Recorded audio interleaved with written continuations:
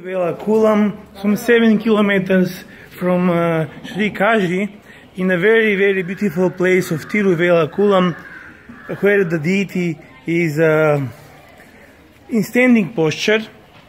And here we are at the bank where these beautiful, beautiful lakes with lotus flowers. What is the story here actually?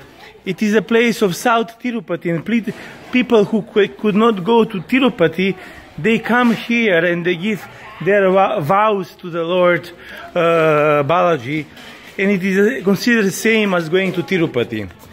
So what is the story connected to this place?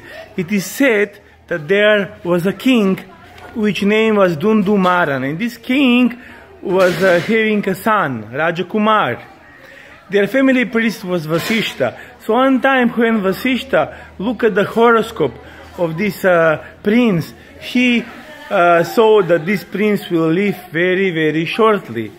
King, be being sorrowful that his son will live so short, asked uh, great sage Vishwamit Vasishta if there is any remedy how this, uh, how his son could live longer.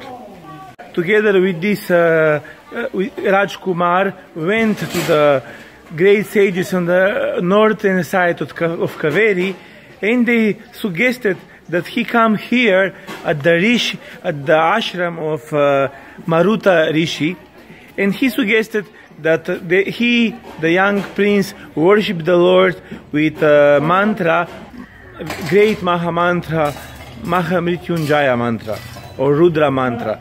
So he has uh, sing this, this boy, uh, this mantra here, and the Lord blessed the boy uh, with long life. He also asked everyone else who recite Maha Mrityunjaya mantra will also live long life uh, and be blessed by the Lord.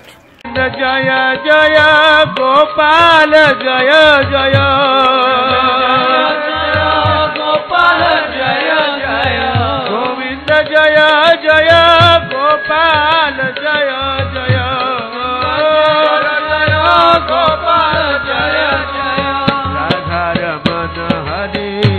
Govind Jai Jai.